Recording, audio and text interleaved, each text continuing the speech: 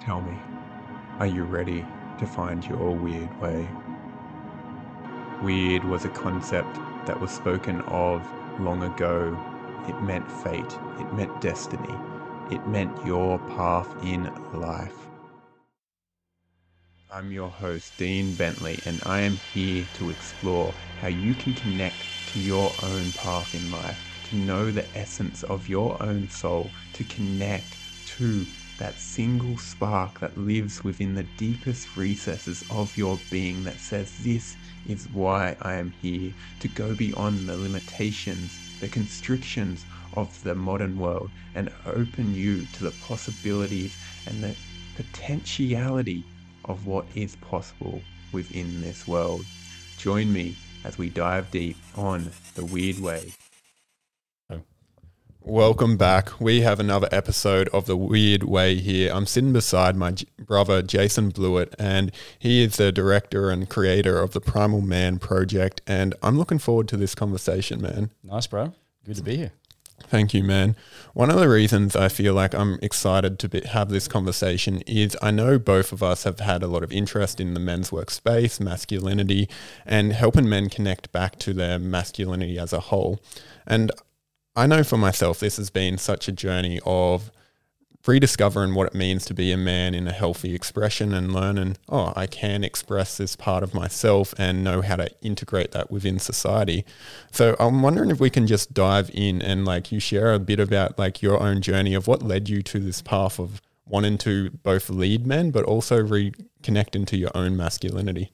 Yeah. Um, depends on how far we want to go back in the story. Go back right to the beginning. Um, so I was born and raised in Papua New Guinea. So I had, I had some really cool early experiences that I didn't realize at the time were probably planting seeds. Um, you know, grew up around um, men and boys being initiated. We would go on like go on picnics to you know creeks and things, and, and I get told as a kid, you know, don't go down to that creek. That's a women's creek. I'm like, what fuck are you talking about? The women's creek?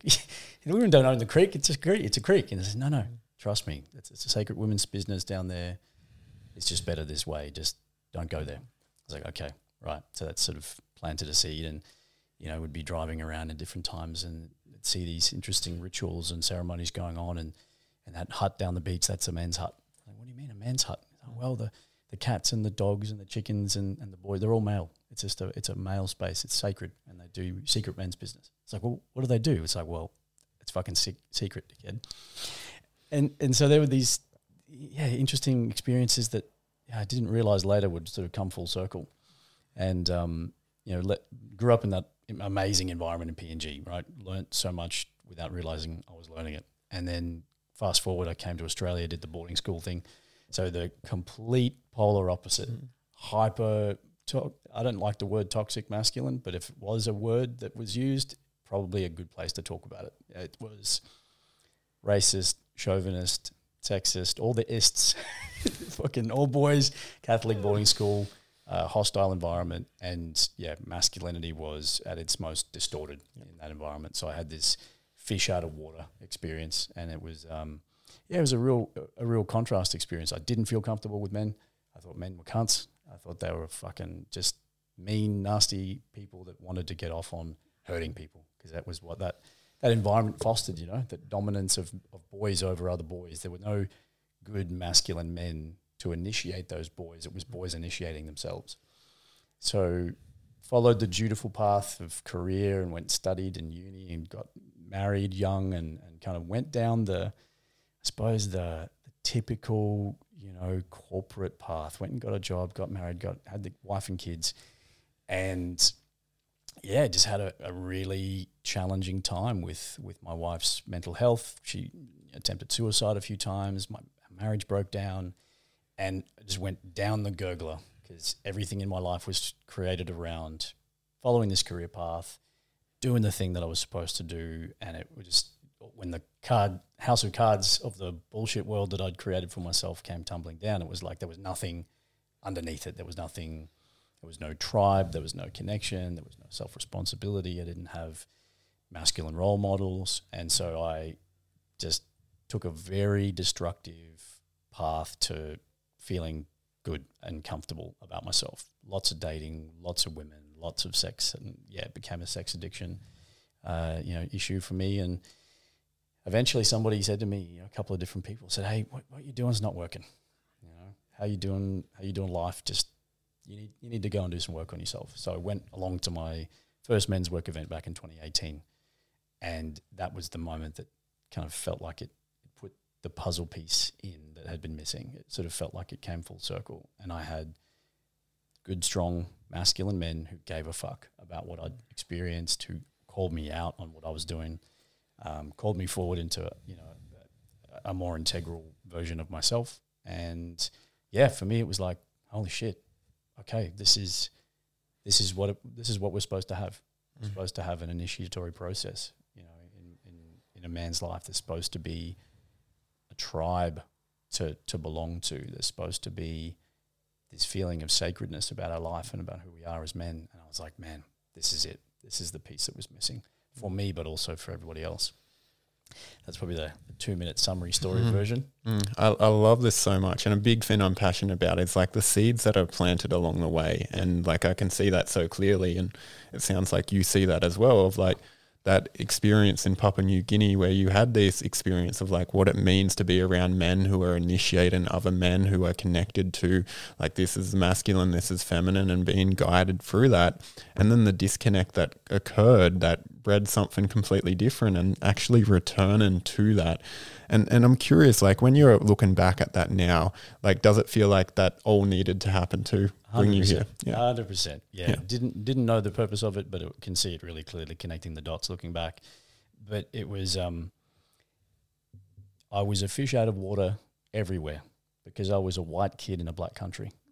And so I was never initiated in that environment. I never I never got to belong into those processes. And when I was in Australia, I was a fish out of water because I was a white kid who probably acted more like a black kid in a very white country. Mm-hmm. And so everywhere I was, I was an outsider. And so what I really craved was belonging.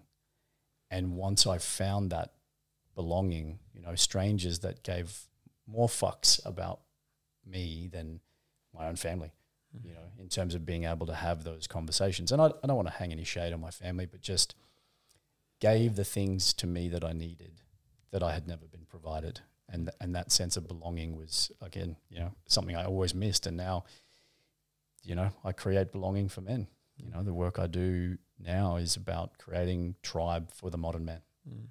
And and what changed for you in the moments where you had these men come in and were able to like provide that for you? I remember there was this moment where you know I'd been through a really big process, like a trauma reenactment. So I'd reenacted, you know, uh, a situation from my early life and confronted this man who was playing the role of my father, and got really heated. And and then by the end, I was just a sobbing mess. You know, I just and and we reconciled in this reenactment, and the man was holding me, and then the 40, 50 odd men in the room, big room of, of guys in this process, they were all wrapped around in this massive group hug. And it was, I was sobbing my eyes out into the arms of a man I'd never met who was holding me in a way that was genuine, caring, authentic.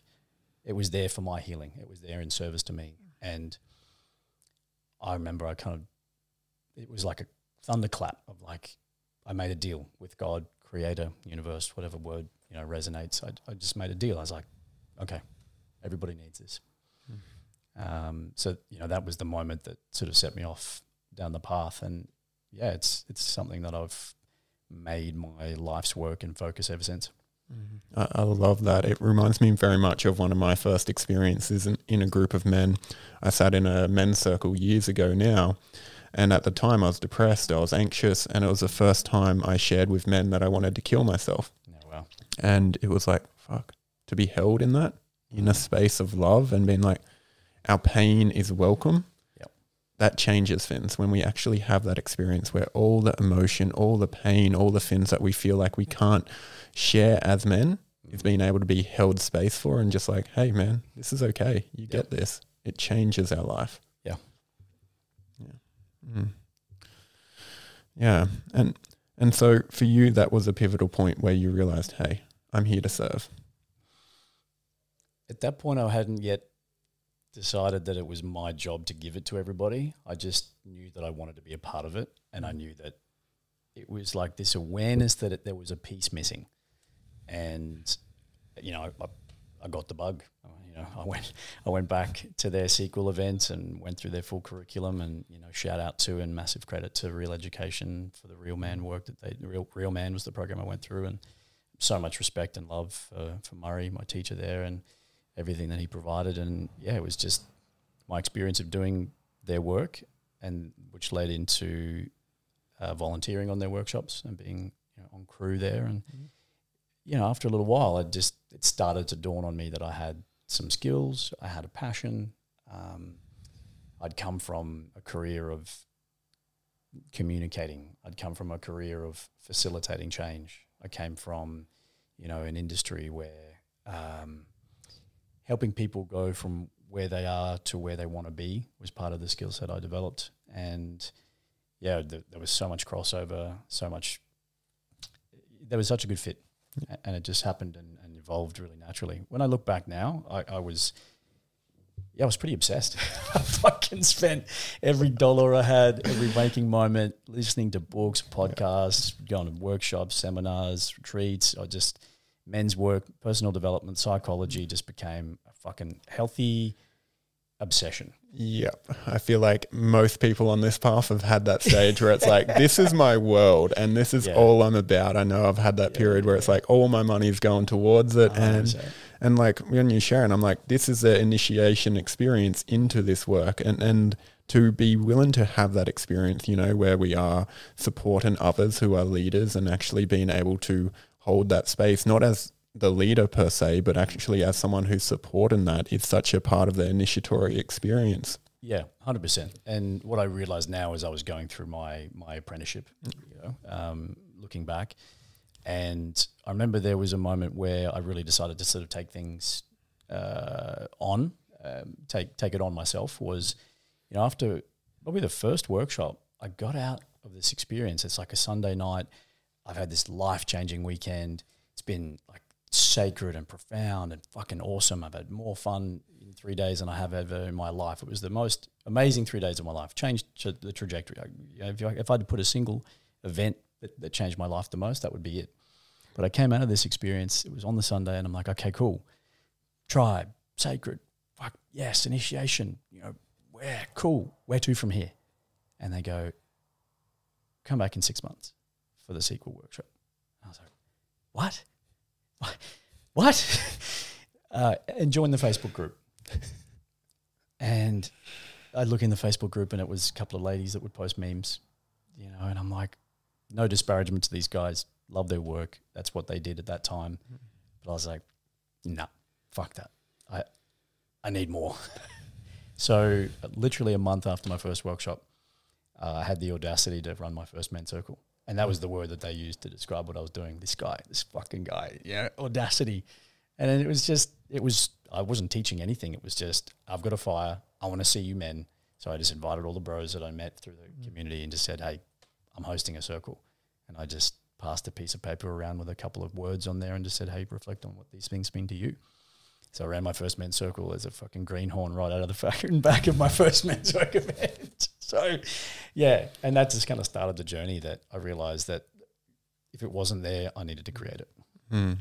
I, I, love this piece. Like I'm a big believer in the mythic, and I love like the mythopoetic movement of actually viewing a lot of these things through myth. And it's like in that moment you decided to in a sense, leave the tribe or start your own tribe. Yeah. And and I'm wondering about that internal experience where you've gone from being like a member of the tribe to actually becoming a leader who's willing to stand for something more. Yeah. And, and that experience there to actually see because a lot of people have that experience where it's like, cool, I'm in the tribe, and then it's like, what's next? Where can I go from here? And they can feel a little bit contracted of like, I, I don't have the capacity to go stand out or yeah. like leave the tribe. And this is such an important part to step into our own masculinity. So in that experience like what changed for you in them moments?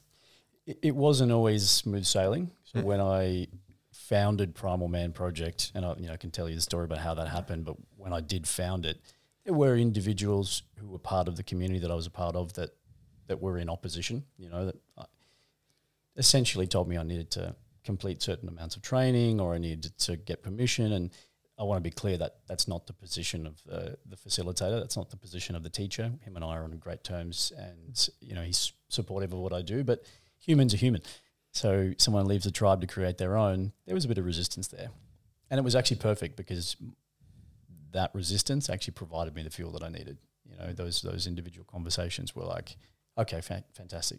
I can't do this. Great, fucking watch me. And I know that's a little bit impetuous, a little bit of a little boy kind of defiance energy, but at that time where I was, that was that was great. That was fuel for the fire. And for a couple of years, I made sure that what I did didn't contradict or compete with the tribe that I was still a part of. It was still a big part of my life. So I offered a one day retreat that was outdoors when they they were offering you know multi day events. I would offer online men's circle and, and in person men's circle. They weren't offering men's circle. Yep. So I wanted to be complementary, not competitive to the tribe. And it's really only been in the last probably two to three years where I've completely left the nest and, and no longer, you know, volunteer at their workshops. But still on great terms and we still have so mm. much love and respect for each other. Very different things we do, but yeah, it's um still got lots of love for mm. the home for, for the for the OG tribe. Mm. And it's such a beautiful thing, and uh, like even this you know, I think of it as a young bull who's like, I'm raring to go. I've got all this energy. Like, can't sure. that us as young men, or like just when we get that fire, we can be a little bit immature and all of that, and it, like, it's also a little bit necessary. There's got to be some conflict with, yeah, you know, with with with the with the dad, right? This is part of the initiatory journey for for young boys, and I mm. think uh, often mothers get the brunt of this. You know, this this phase of like the testosterone boost around that 12, you know, 11, 12, 13 and and traditionally, that's when initiation would happen, right? The boys would be taken out from the care of the mother and sent off into the bush or into their initiatory journey, and then they would they'd be brought into their own masculinity and say, "All right, you're no longer a, tri- a child. We now expect this standard of you," and that energetically was what happened. You know, mm. there was enough. There was enough of that sense of okay, you know, energetically butting heads or energetically feeling like I needed to leave the nest uh, yeah, it was perfect. It was it happened as it was supposed to. But yeah, so much love for those guys. Mm. And I don't take it as a coincidence, as what you you're creating right now is called the Forge, and yes. it's like you know that steel sharpens steel. It's 100%. needed. Yeah, hundred percent. Yeah, it's it's really exciting. So we're we're almost five years in. So mm. you know, four and a half years of of Primal Man project. So I founded in 2020, mm. and we ran. I ran three men's circles every week for probably three, three and a half years. Um, you know, last count was probably a couple of hundred men's circles, and we ran them all for free. Mm. And, and that was a big part of what I felt like was my rite of passage into facilitation and holding space and circle for men. And yeah, it's also part of what I wanted to give back. And, you know, it came a point where it really needed to it really needed to be a thing that people were invested in. And when I was giving this away for free, it wasn't men weren't putting skin in the game. So we, you know, we we've been working in the last six months to create um, a community, a container in an online platform called The Forge. Mm. And we launched uh, two weeks ago, and we've got you know, 33 men in there right now, which is a really cool number. Mm. And yeah, it's it's a low ticket investment, but it's enough to have skin in the game. Mm. And those guys are showing up every week, and it's fucking awesome to have a Zoom screen just full of faces from all over the country. Um, so yeah, feels feels like a great evolution. Mm, I, I, love this, and I'd, I'd, love if you can speak more into this concept of actually putting skin in the game. Yeah. Be, because as like I, have done this the same when I started my coaching, I was doing a lot of free offerings. Yeah. And it's like cool. I was getting me experience, which was great, and I was learning and building confidence and all of this. And there was an aspect where the people I was coaching weren't fully invested because it's like, well, I'm not valuing it. I was because I was getting a lot from it of skills of developing my own ability. Yeah. And they didn't have the skin in the game, so they can only get so much results. But when we invest, where there's an element of care, and it doesn't mean it needs to be a lot, it needs to be something, but this uh, willingness to actually put our skin on the line and be like, I'm in. And what you've seen when men are willing to do that, and when it's like this half commitment of like, yeah, I'll show up because, you know, why not? Mm-hmm. And the difference between the two. I've wrestled with this for a long time. Yeah. I remember I had a business coach I worked with a couple of years ago, uh, Jess Clare, absolute le- legend, and she said to me, "What are you doing, giving away men's circles for free?" She was coaching me in my business, so she said, "Look, charge for these things." And I had this maybe it was a nice guy thing of wanting to give, give, give, so I could feel worthy and enough. Maybe it was a genuine altruistic intent, probably a little bit of both.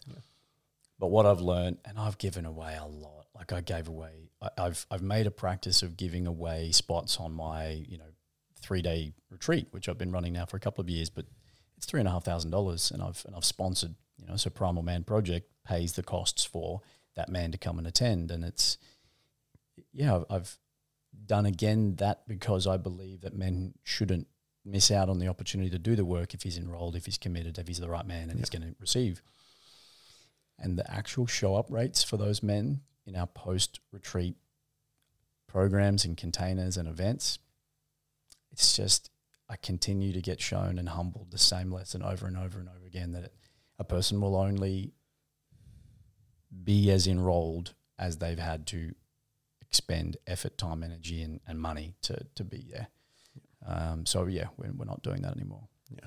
Yeah, it's a big experience I've had, and my experience is I'm more willing than they are. Yep. And that's the rescuer dynamic, and I've caught myself in it where it's like, oh, I want to, I want this man to evolve. I want this person to get the results and get like his shit together and be able to go beyond this. And Show up, motherfucker! Show up! I'm fucking here. I'm fucking yeah ah. and like there's been my own wound, and in that where it's like you know i you know i want i want you to get something out of this but it's also like that deep desire for a man to realize his own potential Yep. And it's fucking beautiful when they can do that but there's actually this humbleness to take a step back and be like cool i believe in you but you've got to take that step For me, it comes down to the worth that I try and get from the results I want for him that he doesn't want as much as I do. Yeah. That that sense of if I can get this man this breakthrough, I'm enough. yeah You know, and and that detachment is yeah still something I'm working on. I'll, I'll have guys invest like my 12 month programs, you know, 10 grand, and they receive a retreat at 12, uh, you know, a, a deep online container, and then a, an ongoing mastermind and. I'll have guys go through the experience, get initiated, become t- part of our tribe, go through the deep work, you know, a course that I run um, around purpose, and then just flail out the back end, you know. And I'm, and I'm like, I'm making it about me. What have I not done? What have I not provided? What do I need to do differently? You know, full responsibility. But again, that comes from this wounded place of feeling like I'm going to be abandoned. You know, that that's really like that feeling of like they've left me. Yeah. And if they've left me, I'm not enough. And it's like, fuck, I can I can take it horse to water. You know, it's such a cliche, but yeah, I think it applies here. Yeah, and such a humbleness as a facilitator to step away and trust a person's journey of like, I, I, I trust in this is what's best for you, even if I'm like, I know there's another path for you here. You get get on the fucking boat and come with me. I know you, there's a way through here, and they're like, no, I don't want to do this, and it's like, can can we honor them enough? And Yeah, also, no, no, I'm gonna throw stones on the way out. Fuck you and your fucking projections, and you're fucking wounded, and you're fucking this way, and I know better than you, and all that. And I'm I'm in my ego, and fuck you, and it's not me, it's you, and yeah, oh, yeah bro, yeah, yeah, yeah, yes. it, it- it's this constant reminder that we need to be doing the work ourselves oh no, no, no, no, no, no. We don't need to do the work. We just no. Right. we're perfect. Yeah. That- we've got the podcast mics. We are perfect. Correct. Yeah, I'm I'm standing at the front, therefore I've got it all figured out. No, no.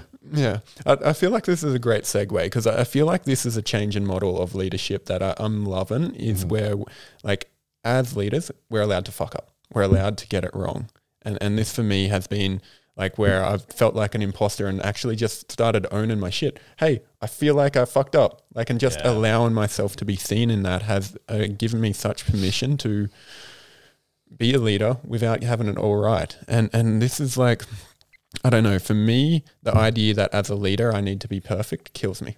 Yep. I, I've fucked up. I've hurt people. I've messed around in my business and haven't got people the results I want. I've done a lot of great work. I can own that. But like for me, this humbleness of being like, hey, we get to be ourselves. We get to be human. Mm.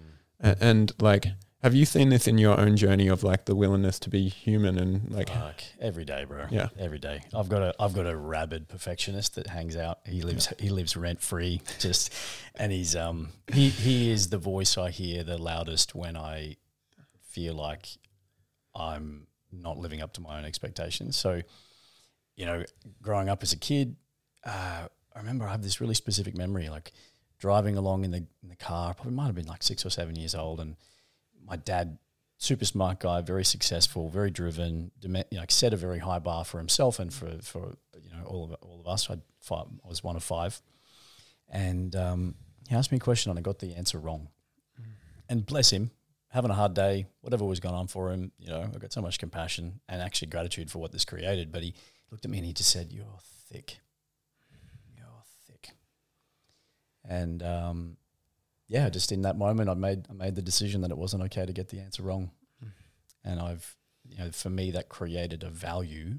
I have a value of excellence, Yeah. and and the shadow of that value of excellence is perfectionism, and yeah, so getting it wrong and being willing to get it wrong is still a process that I you know I'm working on every day.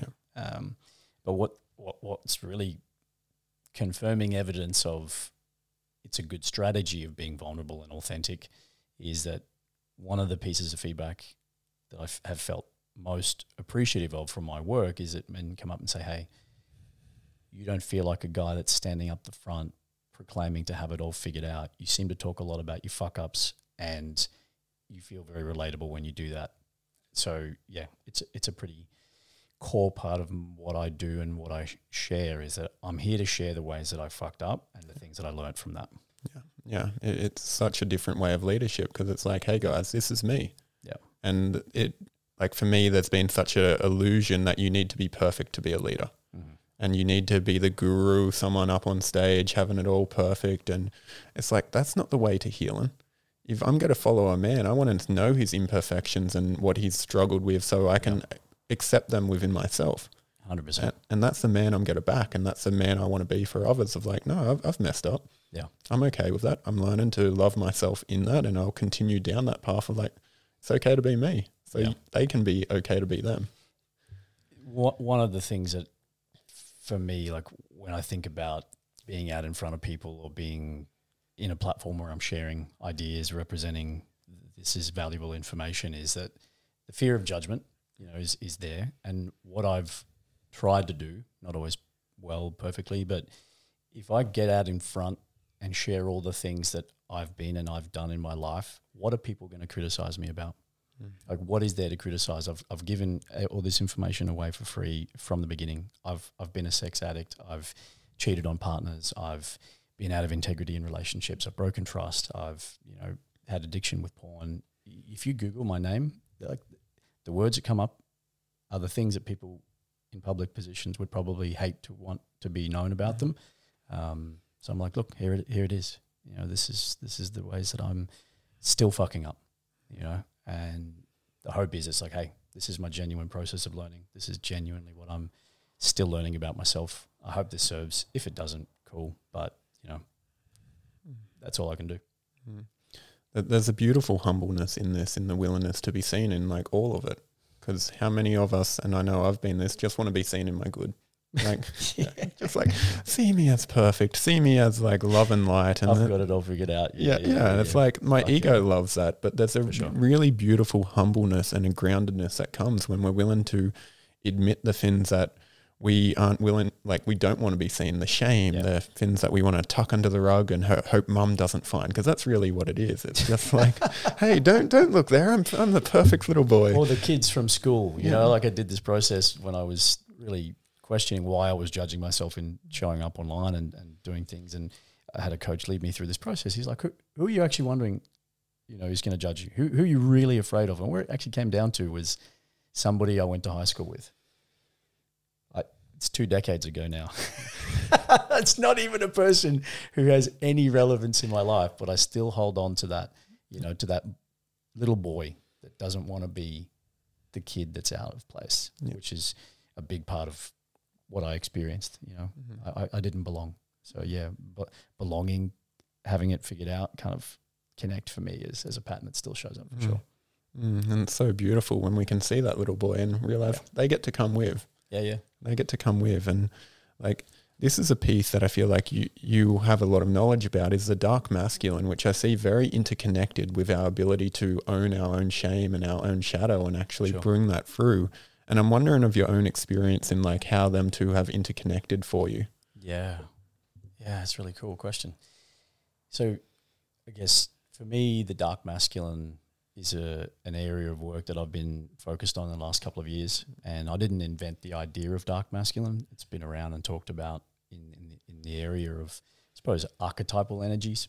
Um, and I, yeah, had this amazing experience with with someone I was in partnership with, um, where my darkness was welcome. So we were intimate for the first time, and it was fucking wild. Like bite marks and scratch marks and animal noises and fucking just imagine a complete scene of mayhem after in the aftermath. And yeah, it felt like for me that was something that in other circumstances I may have felt like, oh, shit, I want to go a bit too far. And what she said to me was, more. Mm. I want I want more of that. And I just have so much gratitude for the experience of feeling welcome in my darkness and not just welcome but celebrated. And that began the journey for me to really reflect on my traditional understanding of masculinity with you know the, the four primary archetypes, which I kind of now refer to as the light masculine. So the king, the magician, the warrior, and the lover, mm-hmm. which they have a, an element of them for me anyway that slightly connotates obedience or conformance to a set of rules or principles of a society. Because if you think about it, indigenous or ancient cultures would not have had dedicated standing armies to have the role, the position of a warrior, because every man would needed to be able to embody that part of himself. You know, and the king, the idea of having a regent or a, or a head of, you know, a kingdom, again, sort of denotes this environment where we're existing inside of a civilization. You know, so the idea of those four, what I call, you know, light masculine archetypes just felt a little incomplete for me. Mm. Great foundation, great place to start, great model for masculine masculinity and understanding who you are as a man. But I was like, there's something missing. So I, I looked at this energy of of what I identified in this first experience of making love to my partner was was described as the beast. You know, Mm. this primordial savagery, but expressed in a really caring way while also wanting to fucking ravage and destroy her. And I was like, it doesn't fit anywhere. it doesn't fit in this model. So what I realized is it sat between the lover and the warrior. Mm. There's a physicality, there's a dominance, there's a there's a visceral experience of power from the warrior, and there's also the care that comes from the lover. And you know, if you look, if you think about the image of Beauty and the Beast, you know, Beast is this fucking gnarly, powerful, you know, primordial being, and Belle, you know, standing under his protection, you know, this feminine, radiant, soft, vulnerable woman, and the contrast between those two. That's the the image I think of when I think of the Beast, and that sort of began my journey to really look at where are the other aspects of myself that I've shut down, Mm. that I've shamed, that society has told me is wrong and bad, that are actually really deeply ingrained for me, that are there as instincts as a man. And I started, yeah, identifying what they were for me and, and, and ch- validating them with other men, saying, hey, does this exist for you? And, and I, I, I started to see that there was this, yeah, there was this framework of other archetypes that I could see were present you know, Mm. not just for me, but but for men, what I consider almost universally. And yeah, it's been a focus of my work you know, ever since. Mm. Mm, that, that, like for me, I, I often see this path as a descent-based path. Like uh, when we're looking at the light, if we're looking at the light archetypes as you speak of them. It's like very ascension-based. We're looking to ascend to a different like level. And what you're talking about with the dark is descending into the earth, into the roots of this plane and this being. And like that for me often involves sexuality, our primalness, our animal. It's like all these components that are suppressed and it sounds like they're the layers that you started to work through where there was Yeah. shame and conditioning about Yeah. it's not okay to be this as a man of like that primordial like animal that does want to fuck ravage and destroy it's like mm. that's ingrained within us Yeah, and how many men suppress that i know i have and it's something i'm still learning to be more in and i think we all are it's like that's a big part but it's been so shunned yeah. Conditioning is a big part for me. Like on the sharpen the spear, which is our three day initiation into the dark masculine, we talk about rem- identifying and removing conditioning, and then discovering and embodying your true nature. And for me, the true nature means these instincts and desires that are present for all men, which have been there since the beginning of our evolution as this species, they are there whether we like it or not. They're going to exist. So you have a choice. You either suppress them or you embrace and channel them. And I definitely haven't got the balance right. You know, a lot of times I've been the seducer, which is for me the dark side of the lover. And I've expressed that out of integrity, been manipulative with women, you know, had sexuality driving my behaviors and desires in an unhealthy way. And it was going into that and reflecting on it and learning from it, realizing, okay, that that's a that's a valid part of me. Mm. That's a true part of me. And it's like, how do I now express that in integrity as best I can? A- And that was the journey as you've been discovered more and more of that and like welcomed at home. It's been able to come into a greater place of integrity. Yeah, definitely. And Yeah. there are definitely moments that I've misstepped. There's definitely moments when I haven't maintained that integrity. Um, you know, so it's not me claiming a space of having figured this all out and now standing on some station of fucking enlightenment about it. But I realized that I have become a lot more integral with the way that I express these than I have in the past. I'm more integral today than I have than I was before I started doing this work. I'm I'm more in touch with those desires. I'm more connected to what I want. I'm more accepting of who I am than I ever was. And yeah, all I can do is continue to discover and express these as best I can in my partnerships and in my life. Like it's not just about relationships either. Like it's mm-hmm. You know, for me, the dark masculine expression of the the warrior is the savage. You know, Mm. this part of me that wants to fucking destroy and just the bloodlust of the rage of that primordial being that would just wants to destroy. That that uh, that energy exists again for me, and I think probably for all men, if it's fair to say. How do I find places, healthy, productive places for the, to put that that Yeah. that competition, that that masculine, you know, Conflict. conflict, you know, and, in a way that doesn't destroy, in a way that doesn't hurt. That the instinct and that desire is celebrated and brought through, but in a way that doesn't ruin people's lives. Yeah. Yeah. And uh, I, I know for me, when I've had that energy and I haven't allowed it to express, I've wanted to burn down my business. I've wanted to burn down relationships. It's like, I just want to destroy something, Yeah. even if it's beautiful, even if I love it. It's just like, I want to fucking destroy. And like this piece you're sharing about the dark masculine, it's like, for me, I always find our wounding is a, what we're here to teach as well. And it's this constant cycle of like, cool, this is where I've felt deficient. Yeah. A- and this is where I've met my own pains, and this will continue to initiate me so I can serve at a greater capacity. Yeah. And that's all it is. Yeah, the pain becomes the purpose. Yeah. for sure. Yeah, looking back now, I realize I, I needed to be in environments where I didn't fit in. I needed to explore, you know, my own realms of darkness and addiction to discover that it wasn't a fruitful way to live. You know, and I have no judgment about anybody in different stages of of promiscuity or different relationship configurations. I hold no judgment. I just have learned that it has consequences. Um, and yeah, And I think when you're we're in a leadership position, it actually allows us to have greater compassion for those people that we're here to serve as well. It's like sure. I, I see someone who's depressed, and that's my background, and it's like, oh, like I I know what that's like. I know what it's like to be self harm, and I know what it's like to want to kill myself, and it's like I can hold compassion for that, and know the pathway foot through that because I've been there, and it's such a beautiful thing to be like, cool, I see where you are. I welcome that. I'm not going to judge you because that doesn't help, and Yeah. you can actually come through that, and that's beautiful. What was your pathway out of depression? Um, for me, it was like a lot of coaching, mentoring, eventually men's circles, um, quite a bit of psychedelics as well. But that, I'm not going to lie, probably didn't serve um, for a little bit. Like it helped me open my world because I felt very stuck and suppressed in a system that I didn't align with. And so it crumbled that.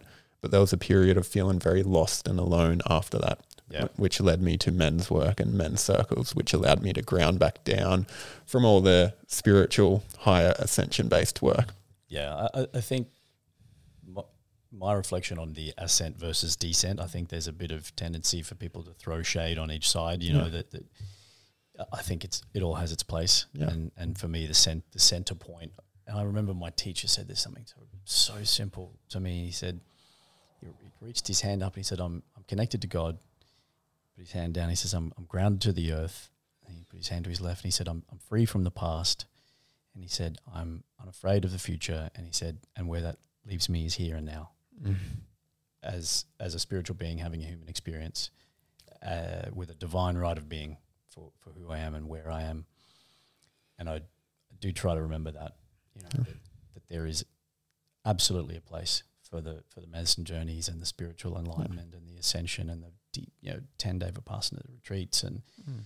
and then also the deep shadow work of fucking crying your guts out and just looking at all the shitty things I've done to people and how I've fucked up and all the things I can own and be ashamed of.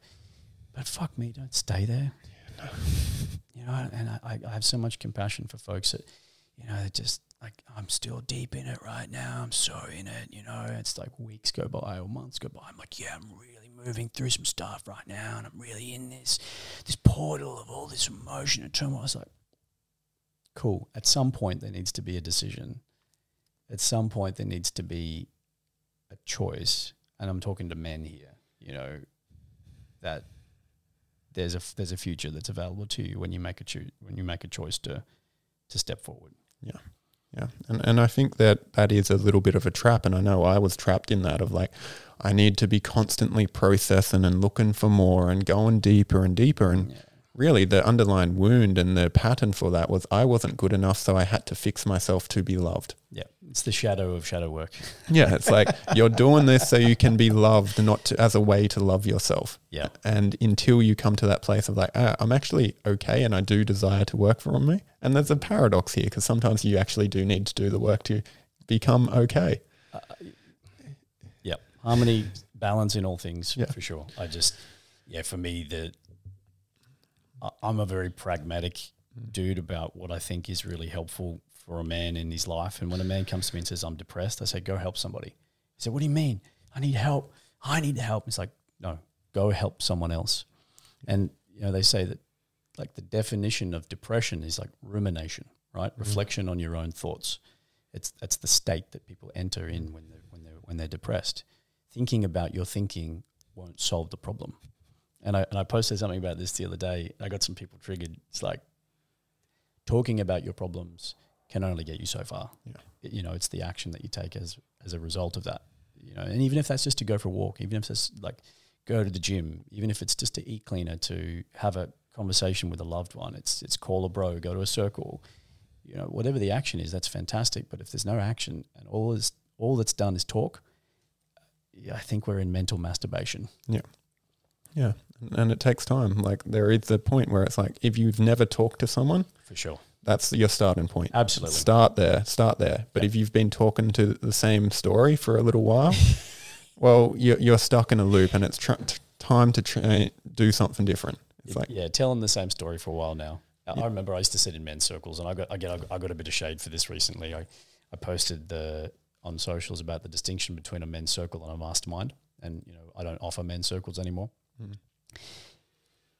Because my experience was at times. I'm not saying everybody, I'm not saying every circle, but at times my experience of men's circles have been that you know you go to circle and then you come back three months later and the same guys are, are telling the same story and there's no challenge there's no action there's no accountability it's just thank you for sharing and again i think there's a place for that to be heard is a great thing and there's an end in itself but it's like well what happens next?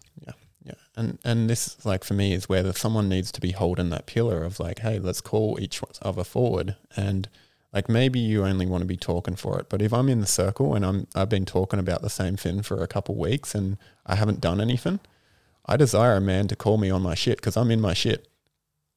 yeah and if you're not getting called on your shit then it's not really men sitting in circle it's just a sharing space Yeah, You know, I, I don't know. This is my definition. I, I sit in I sit in circle weekly, and we have a rule that if you bring the same thing twice, there there better be some committed action that's being taken. And and if you come f- for a third time with the same problem, there's going to be a barbecue. Like it's it's yeah. it's on.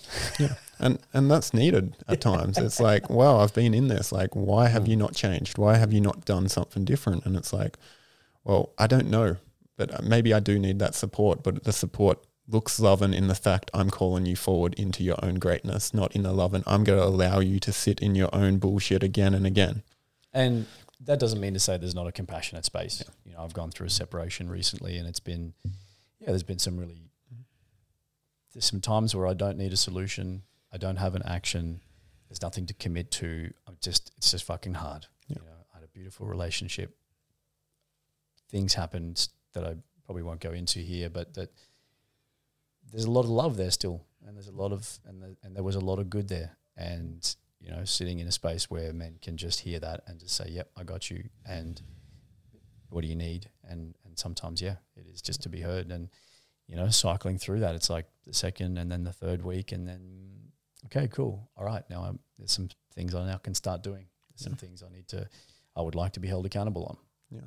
So I think, like all things, man, I think there's a balance. Yeah, yeah, it's the nuance of these conversations where we can say one thing and like a situation like grief, and I mean anything by grief, it's like grief cycles and yeah. circulates, and there's many experience, and and just sitting in it doesn't mean we're bringing our problems, but just allowing ourselves to be in it is very different than being like save me or fix me. It's just like I'm, I'm in this, and this is okay to be in this. Yeah, that's that's part of what I think. I I'm I'm more a warrior kind of king action orientation. I think personality generally. So yeah.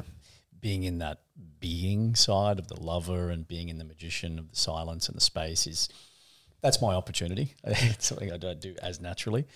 Um, so it's something I'm working on is actually allowing myself to be. Mm.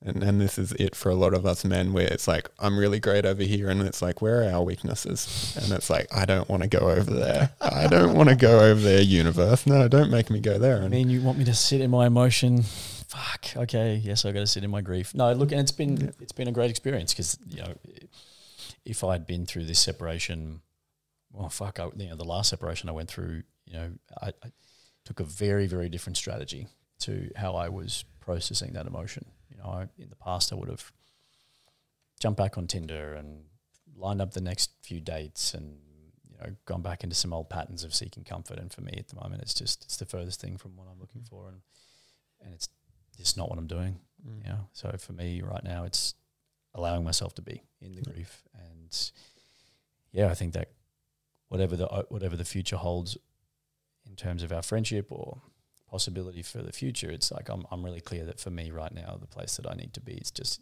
within myself and just being. Mm. So, yeah, it's kind of something I'm working on at the moment. It's um it's an edge. Mm. Yeah, thank you for sharing that, man. I really appreciate you bringing that permission and like that vulnerability of realness here. Thanks, man. Yeah, thanks for the space. Yeah, really good to see you. Thanks, brother. Good to be seen. Mm. mm. Just want to take a moment. It's beautiful. Man, I, I, just are you okay if we segue a little bit? For sure. Yeah. You, you mentioned like earlier on about the primal man and like how that got created, and I just want to segue back into that because I feel like the origin story is something I've heard, and I've always loved like these pieces. It's like the vision come alive, and then you know the time to create and the devotion to such a vision is always beautiful. So I really want to know what birthed the primal man for you. Oh, bro, it's a pretty cool story. So I went on a men's work event. Uh, Blaze Grinner, coach in the Sunny Coast, I went on one of his bloke venture retreats and really cool. Just you know, a little UE boom box on the sand. You know, some sand with with a towel, and uh, we did a breath work. And by this stage, I was I was pretty deep in the men's work scene at that stage for you know whatever it was the two years. But you know, I'd, I'd been doing it pretty intently and had already decided I wanted to become a coach. I could see that was there for me, and you know, I've been volunteering, and so it was the, the, the soil was pretty fertile. And I went into this breath work, and I had so this was like a holotropic style, so big big breathe, and I saw a man's face, and it was sort of all sort of dark around the outside of his face. All I could see was his face, and he was his hair was long, his beard was long. You know, he looked wild. He looked like this man was was unkept, you know, in, in a sense. But he was his skin was clean, and his eyes were bright blue. His skin was weathered, and I, and I just don't know how I know, but you know, in a dream, these states you just know without knowing how you know. I just knew he was an ancestor, and I knew he was a, an ancestor for modern Europeans, you know, Caucasian um, ancestor. And the look on his face was, it was forlorn. Like there was a deep sadness there. And he didn't say a word. He just looked at me and looked into me. And I realized he was disappointed in all of us. And um, it's like, fuck. Okay. It's pretty heavy. And once he sort of saw that I got the message, it was just this nod. And the nod was, what are you going to do about it? And yeah, you know, woke up from that vision, uh, breathe, and yeah, just the words that stayed with me were primal man.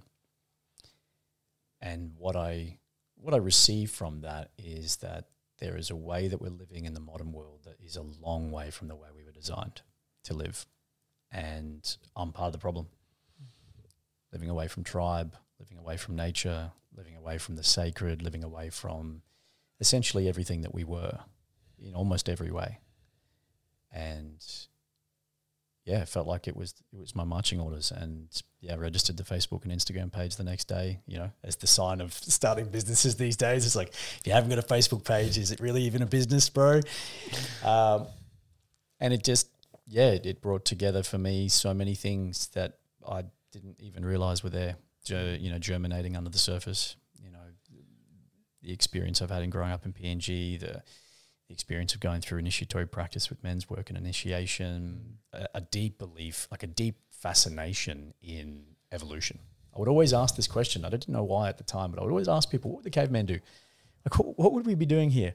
You know, and and, my, my ex-wife, she was like, why do you always talk about the caveman? She's like, I'm fucking done with this caveman. Whoever this caveman is, I want to meet him one day because the dude seems to run my life. We have to ask about the caveman all the time. But it just fascinated me how fucking completely ridiculously out of our alignment with our basic evolutionary principles everything about our modern day life is our food our shelter our environment the way we spend our time how we how we focus our energy what we do in every single conceivable way is is the polar opposite to our basic principles of evolutionary biology of what we were likely to be needing to do so yeah for me that kind of synthesized into something that was was quite coherent. You know, we were living a long way from our design, and fuck, I mean, I you know jammed together a dodgy looking logo from fucking Canva, stolen gifts off on the internet, and then just yeah, started the Facebook page and started running men's circles. Pretty much, you know, pretty soon after that, um, and everything else from there has just evolved. And mm. it's just it's become for me. Uh, an intersection, like Primal Man Project, what it really represents is the intersection between our evolutionary biology. What is what is the human man designed to be doing? What is the current science around positive psychology and how to get the best from our from our mind and and and how we think with the current science around neuroscience. What is the brain telling us, the signals that we can read now with machines that didn't exist 20 years ago about the chemicals and the responses in the body? Like, what is the definitive proof about this human machine and how it's responding to our environment?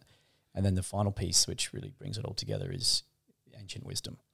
Because in any of these modern day biohacking, in any of these life optimizing strategies, in any of these things, you go back to the ancient texts you go back to the indigenous wisdom, and there it is, you know, correlated 5,000 years ago, 10,000 years ago. But, you know, that's oral tradition, right? We didn't have written. But it, for me, putting those pieces together gets into the center of how do we live as a, as a primal man, as a primordial being in this modern world.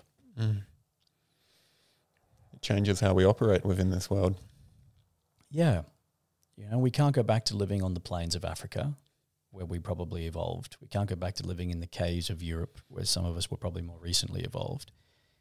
But what we can what we can reintroduce into society and into you know our lives as men specifically are a couple of core principles. And the three pillars of my work in Primal are power, purpose, and pack.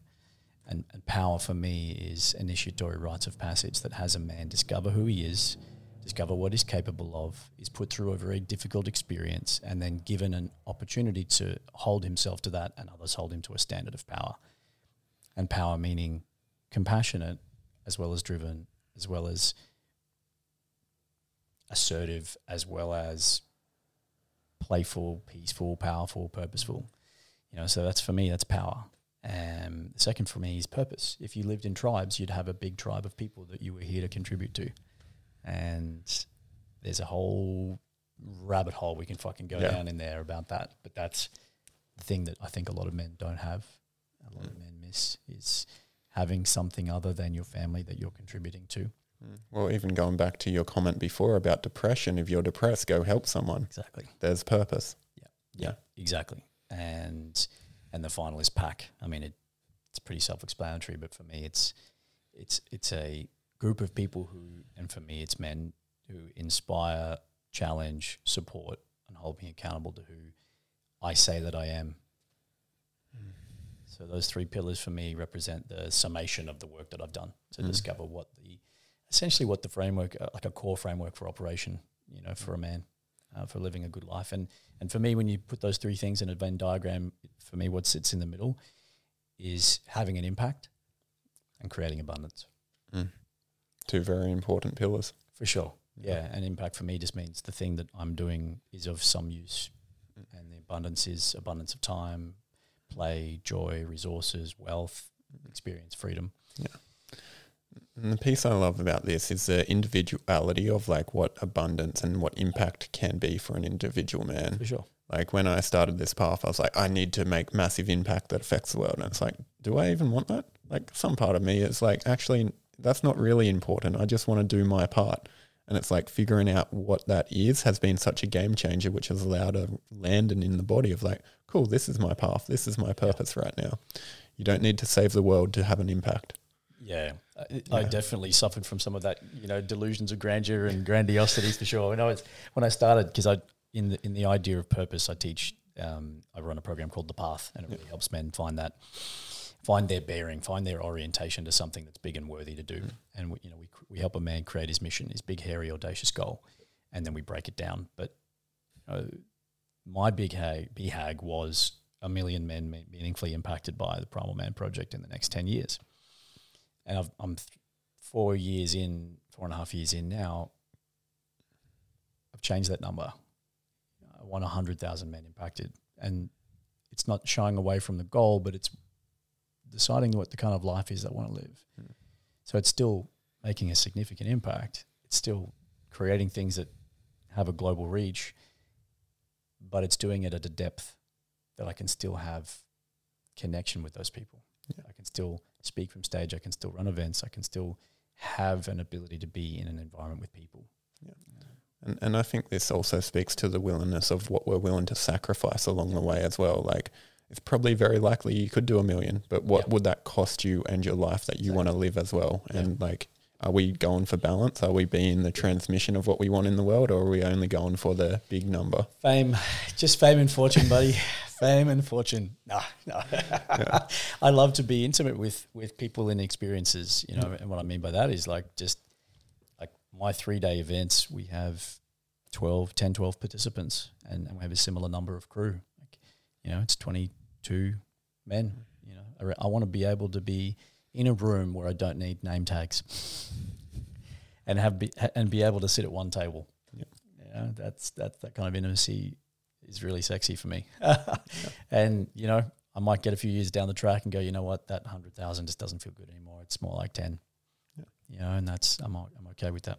Yeah, and this is a refinement, right? It's like Yeah. it's it can be exciting to have the big audacious goal, and yeah. then we start going towards it a couple years later, and it's like, oh, you know, I, like I love that goal. Maybe it will happen, but there's less attachment to that. But I know I'm on my path as well. Yeah, for me, it's the difference between commitment versus attached. Like Yeah. I'm I'm committed to the process. Yeah. I'm committed to the journey, um, but I'm not attached to what it needs to look like. Yeah, yeah. I, I want to go into this like probably the one of the last pieces here today of like you, you spoke of like the birth and of the primal man and the vision you had that really allowed that to come in. And then you've been in it for four and a half years now. So I, I'm, want to speak into the like the devotion it takes to create a vision and bring that into the world, and what that process has been like for yourself of holding that this time. Eating a big bag of dicks every day. no, I, I, like I love, I love what I do. Um, I, I heard this great quote from I think it's Mark. Ma- I always fuck this up. Mason or Manson? The I know who you're talking subtle about. art of not giving a fuck. Yeah. And he talks about finding your purpose is like eating a shit sandwich. He's like, you know, one person might eat that eat that shit sandwich and think it tastes nutty and delicious, and another person might eat that shit sandwich and think it's fucking foul. Find the shit sandwich that doesn't taste too bad. You know, for me, devotion to my purpose, which is to empower men to live life by their design, um, to have lives of impact and abundance. Like I, I'm clear about that as my north star, and I'm devoted to men as a as a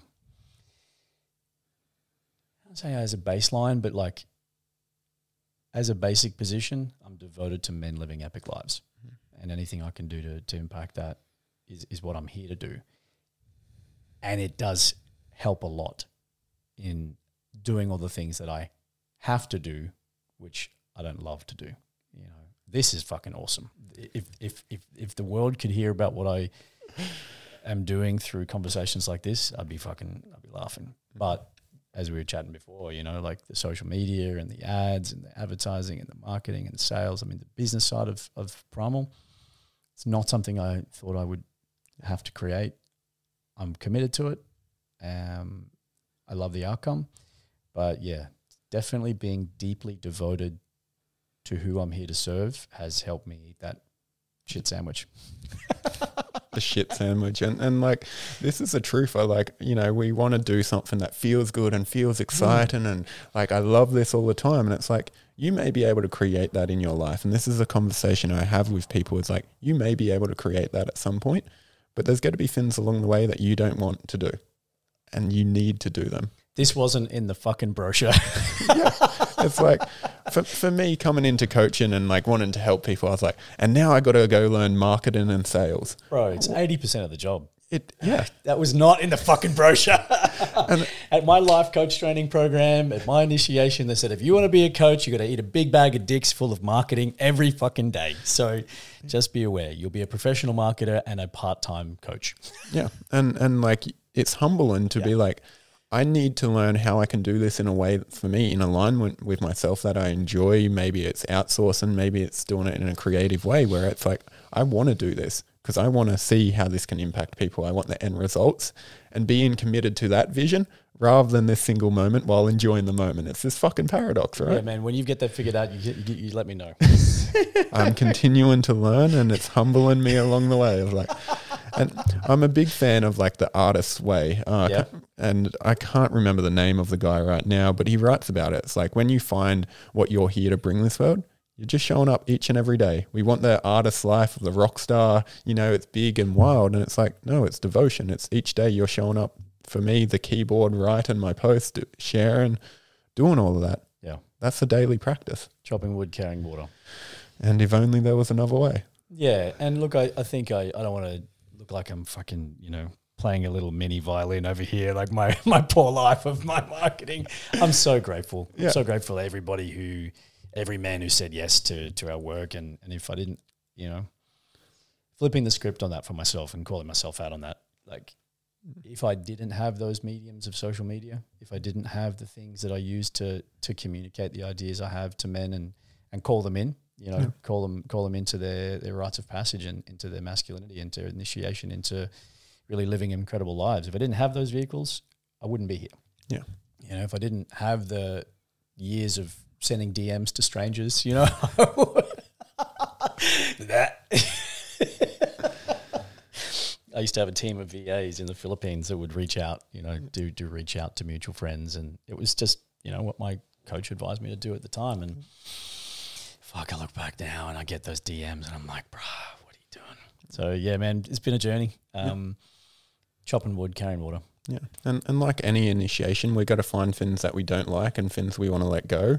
It's like, you know, for me, then one of the next goals and the things I'm developing over the next couple of years is speaking on other people's stages and Mhm. around the country, so I can actually meet people who are aligned with my work, where I don't need to do as much social media. So also having visions where it's like knowing what we don't like as men and learning how to detach from that, so we can be in more sovereign control of our lives as well. Or just sucking it up and getting it done. Because we haven't done that enough. I'm talking to myself here. I'm just I just need to suck it up, stop complaining, and get it done. Um, but yeah, I, I get it. I mean, can, seeing the necessary work as part of a creative expression and a creative practice is something that I'm still learning to do. Yeah. It's not something that I've found a really neat groove with yet. So yeah, this is a great reflection. I'll take uh, I'll take away this Dean wisdom. This podcast. Uh, Thank you for giving that to me, man. Th- This is more of the magician energy, man. This is 100%. what you're coming into, and this is an energy I love to play with. I know, I know. Let me sit in my tower top with my keyboard. when when I remember when we met at Tigom, and I was like, yeah, just energetically, I think you and I sit at the opposite polarities. Yep. You know, I think it's fair to say. Yeah. Um, I love being around men who who who have the polarity energies to me because it's like, what what can I learn here? Yeah. Um, and it also triggers the fuck out of me. which is great. Yeah. And, and like for me, the, the trigger is like an activation of like, oh, fuck, I, I want a bit of that as well. It's like, yeah, yeah, yeah, for sure, for sure. Yeah. What do I what do I dislike in the experience or dislike in a person? Not you, but just in a thing. You can dislike it in me. I'm okay to receive that. Oh, it's all right. It's it's just as a generic statement, right? Like, what do I dislike in others? It's like that's the part I'm judging in myself, right? Yeah. It's such a cliche, but when I see, and I, I've hung a bit of shit on dudes that I see when I go to some of these men's work events, and it's beads and it's hippie long hair, the dreads, and I'm like, they're like, yeah, I'm just going with the flow, and it's really just tuning in and really just feeling into my yoni, and like, and and uh, it's it, it's actually me judging that part of myself. Yeah. It's me judging the flow. It's judging the easefulness. It's it's me wanting it to be hard because I think it needs to be. Yeah. Um, it's the it's the fucking warrior that flagellates. You know, this is me thinking about myself now. I'm like I'm flagellating myself. It's like it must be painful. It must be hard. I must must make it harder. Uh, flows for flows for foofy dudes. I don't need I don't need flow. Yeah. I must make this a struggle. And, and that's the piece. It's like as we integrate more parts of ourselves, it, we can have greater access to different states of being. And maybe it's flow, maybe it's ease. And it's Yeah, like, that's my learning at the moment. Like, I'm like, can I experience grace in my business? And I'm like, oh, I don't know about that word. That like, and I'm looking at your face, and you're like, fuck this guy. And I'm like, it, it Grace. Okay. like but that idea of like their flow ease Yeah. like uh, ability to just be in it be present and not have to struggle it's like can i go beyond that or like be in the struggle so deeply that i'm not fighting it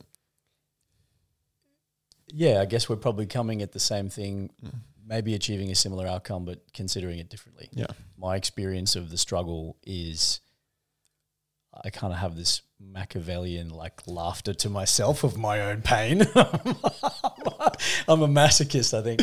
I'm like, give me the pain. I just like it, and I'm going to fucking do it. I'm going to keep going. I'm not stopping. The outcome is the same. Yeah.